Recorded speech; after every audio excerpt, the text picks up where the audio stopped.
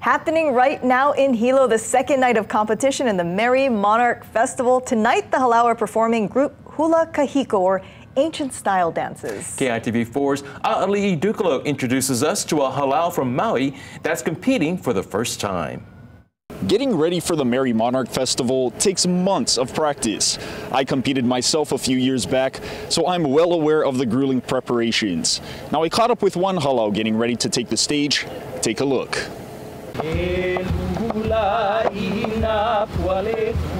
Some final touch-ups for the 12 Olapa, dancers of Halau Hula Kaulu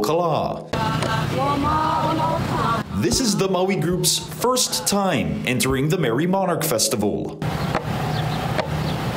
Running in the contest is an honor in and of itself, as Halau need an invitation to compete.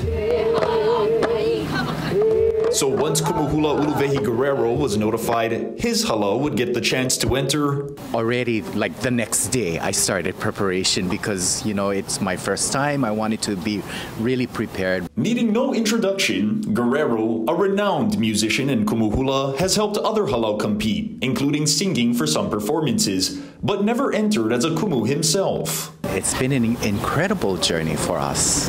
The journey marks a significant milestone for the halau's youngest competitor. This is 14-year-old Madison Kalavaia, who just made the minimum age requirement to run as a Merrie Monarch dancer. It's just awesome. Like, I can't really explain it.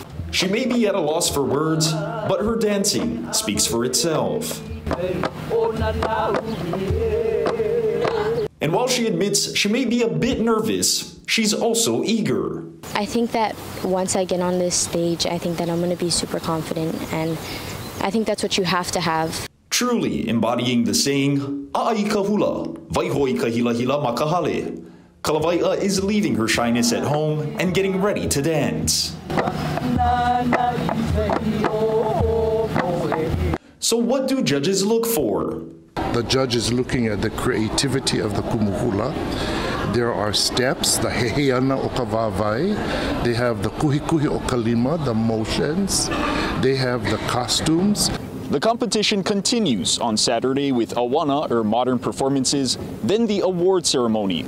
We'll have continuing coverage all weekend, so stay with us. But for now, reporting from Hilo, Aali Iduklo, KITV4, Island News.